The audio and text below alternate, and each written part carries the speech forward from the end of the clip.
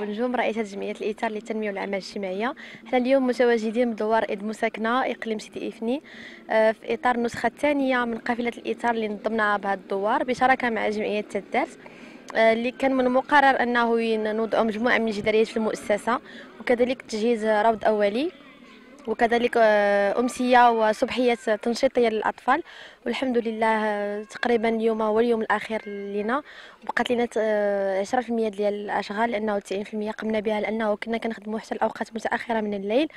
والحمد لله جميع الإيثاريين والإيثاريات كيبذلوا قصارى ديال الجهد ديالهم باش أنهم ينجحوا هذا النشاط. وكنشكر جميع المساهمين والشركاء ديالنا سواء اللي كاينين في بروكسل سواء اللي كاينين في فرنسا اللي هما مع جمعية الدرس.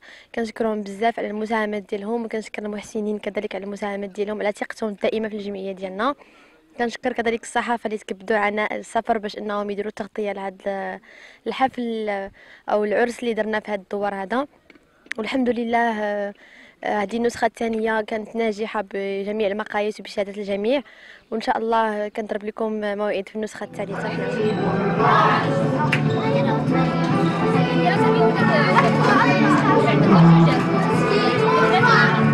حنا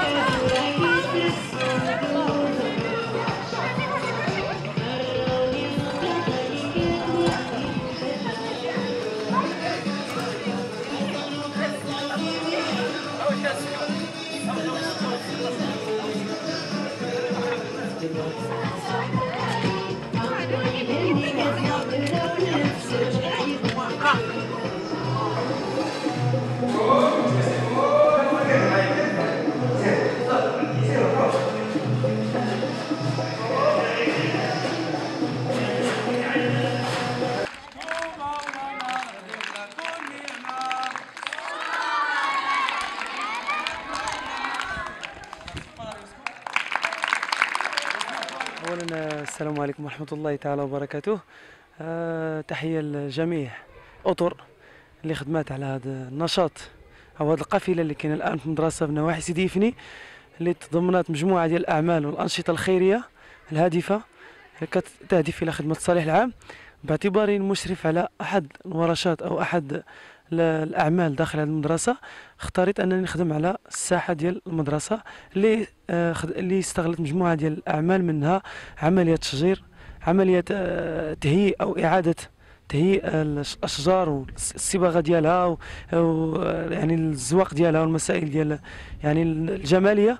وكذلك أننا آه، وجدنا واحد التيران للأطفال الصغار فين يلعبوا رسمناه وقديناه كذلك آه، اهتمينا بكل ما هو كل ما يسدي نفع للطفل مثلا حتى هو كذلك خصصنا لهم واحد الصبحية ترفيهية تنشيطية باش يرفعوا على رأسهم ويحاولوا يحيدوا ذاك العبء ديال الدراسة والثقل ديالها. والشكر موجه في الأخير الجل الساهرين على هذه القافلة. منهم من جميع الناس اللي خدموا معنا سواء الجمعية المستضيفة اللي هي جمعية تدرت اللي عاونتنا مجموعة ديال الأمور اللي سهلت لنا مجموعة ديال الإمكانيات. شكرا بزاف. شكرا كذلك لجمعية الإطار بكل الاعضاء ديالها والمنخرطين وعلى رأسهم الرئيسة ديالنا خولة. آه كنشكروها بزاف.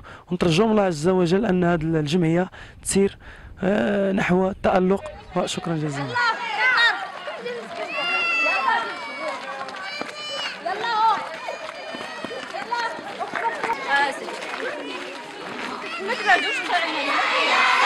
لا لا لا لا لا.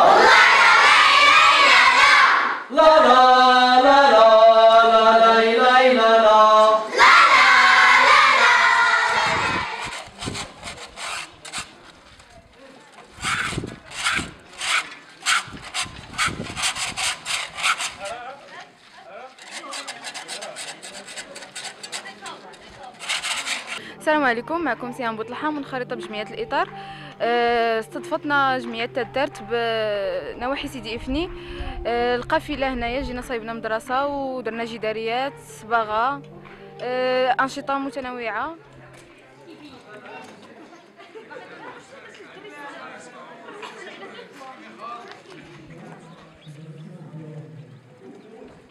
Thank you.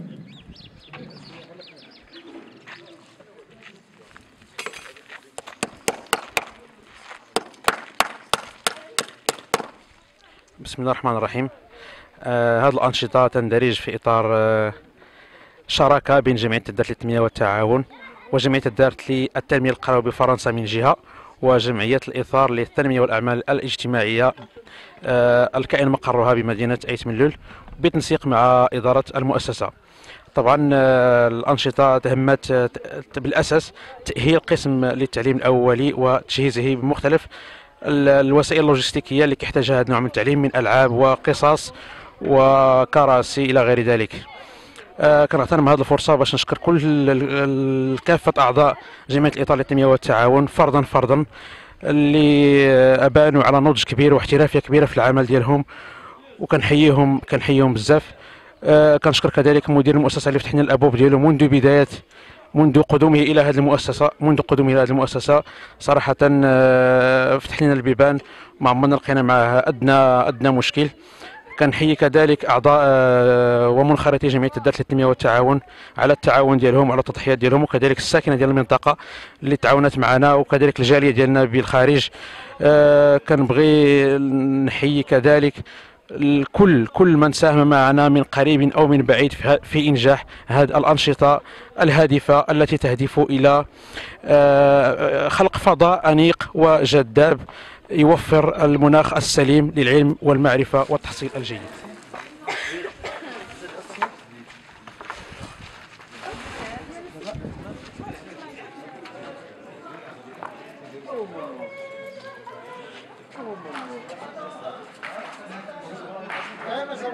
الرحمن الرحيم في البداية يعني تفعيلا للبرنامج السنوي لمجموعة مدارس القادسية. قمنا بعقد اتفاقية شراكة مع جمعية الدرت للتنمية والتعاون وجمعية الإطار للتنمية والأعمال الاجتماعية القادمة من أكادير المشكورة. فأنجزنا مجموعة من الأنشطة داخل المؤسسة. كان أبرزها تأهيل فضاء المؤسسة. وتأهيل القسم التعليم الأولي بتجهيزات مهمة جدا. طبعا كل هذه الأنشطة التربوية تدخل في صميم تجويد الفعل التربوي وارتقاء بمستوى المتعلمين إلى الأفضل.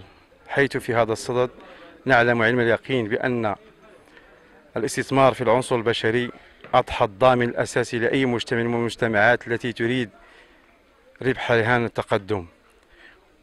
ومن باب الصواب لا بد لي مرة أخرى أن أحيي وأشكر كل المتطوعات والمتطوعين من الجمعيتين على هذه المجهودات المبذولة التي فعلا أعطت لهذه المؤسسة يعني مكانة مهمة داخل أو جعلت هذه المؤسسة نقطة مضيئة داخل الإقليم.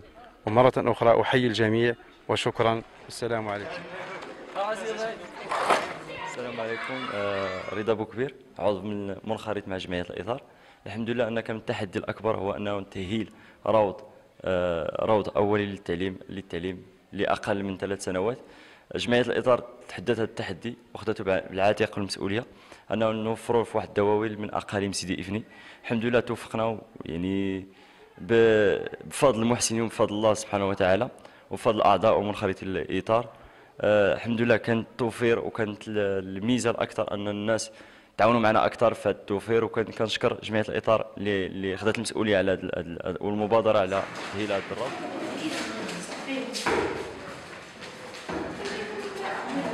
بسم الله الرحمن الرحيم. والصلاة والسلام على أشرف المرسلين. معكم الأستاذ خليل مزدوغي رئيس مصلحة الشؤون القانونية والتواصل والشراكة بالمديرية الإقليمية وزارة التربية الوطنية بسيدي إفني. إذا نحن اليوم نتواجد بمركزية مجموعة مدارس القادسية من أجل الإشراف على اليوم الأخير للشراكة التي ربطت هذه المديرية الإقليمية بجمعية الإطار من أكادير وجمعية تدرس من سيدي إفني إضافة إلى الدور الكبير الذي لعبه مدير المؤسسة في هذه العملية. هذه الشراكة هذه تسعى أساسا إلى تأهيل هذه الوحدة المدرسية باعتبارها مركزية ديال المجموعة المدرسية. وقد آه، تميزت هذه الأيام بتنظيم مجموعة من الأنشطة من خلال آه، أنشطة ترفيهية وثقافية لفائدة التلاميذ إضافة إلى تزيين فضاء المؤسسة بجداريات وكذلك بأماكن لاستراحة الأطفال. إلا أن النشاط الرئيسي لهذه الشراكة هذه هو تاهيل هذا الفضاء هذا اللي هو عبارة عن قسم للتعليم الأولي وتم تأهيله بنوع من الاحترافية كما نلاحظ. إذا هناك أرضية خاصة بالتعليم الأولي. كذلك بالنسبة للتجهيزات هناك آه، كراسي وطاولات متعلقة بهذا المستوى هذا إضافة إلى تجهيزي بمكتبة مكتبة صغيرة يعني في مستوى ديال التلاميذ ومجموعة من الألعاب ذات الصلة ومن هذا المنبر لا يسع المديرية الإقليمية لسيدي إفني في نيابة عن المدير الإقليمي آه، وعن كافة الأطر المديرية. نتوجه بجزيل الشكر وأسمى عبارة التقدير والامتنان إلى جمعية الإطار بأكادير وكذلك جمعية تدارت للتنمية والتعاون. والسيد رئيس مؤسسة على هذه البادرة اللي هي صراحة بادرة آه، طيبة تستحق كل التنمية والتشجيع. وهي في حقها سابقة في الإقليم لأن تقريبا أول قسم في الإقليم سيدي إفني. هناك أقسام أخرى على مستوى دائرة الاختصاص لكن بهذه الجودة هذه يعني كيعتبر هذا أول قسم بهذه الجودة هذه. وكنتمنى إن شاء الله تكون هناك اتفاقية اتفاقية شراكة مستقبلا مع هذه الجمعية. ونحن هنا في مديرية سيدي إفني رأنا إشارة هذه الجمعية وكل جمعيات المجتمع المدني من أجل المساهمة في الرقي بالنهوض والرقي بمضمون 감사합니다.